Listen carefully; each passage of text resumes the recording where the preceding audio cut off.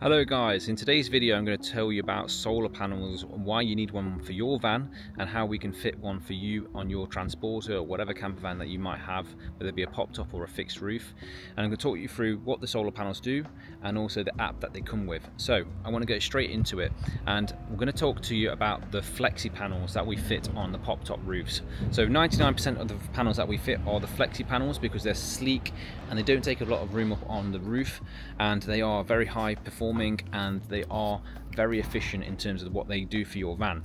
Now, one of the things you need to understand about solar panels is they are working 24-7 for you, obviously as long as there's sun. But even when it is a bit cloudy, they're still working. It gives you that peace of mind that your leisure battery is going to get topped up at all times. So it allows you to go off grid for many days at a time, especially depending on the size of the panel. Now, this panel that we've got fitted on this van is a 250 watt panel. Now, we fitted this onto a different pop top roof that we usually do. So I'm just going to talk you through that now. So as you can see, this is a, quite a large panel and it's very thin, very sleek, and it's got a cable entry gland here.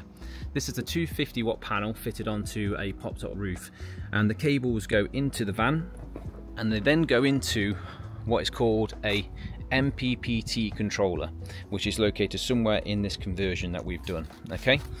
Now, the MPPT controller is basically a component which regulates the power input from the solar panel into your leisure battery. So it will read the voltage of your leisure battery and it will decide whether the battery needs charging or it just needs some float charge.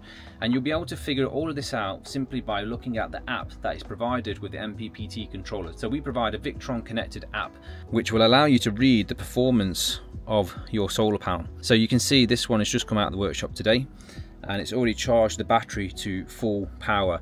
So we've got a yield of 50 watt hours. It's got the battery voltage etc etc we're not doing any voltage at the moment because the battery is completely full. So there's no need for it to actually work. And it's very simple. All you have to do is download the app. You click on it. It connects via Bluetooth.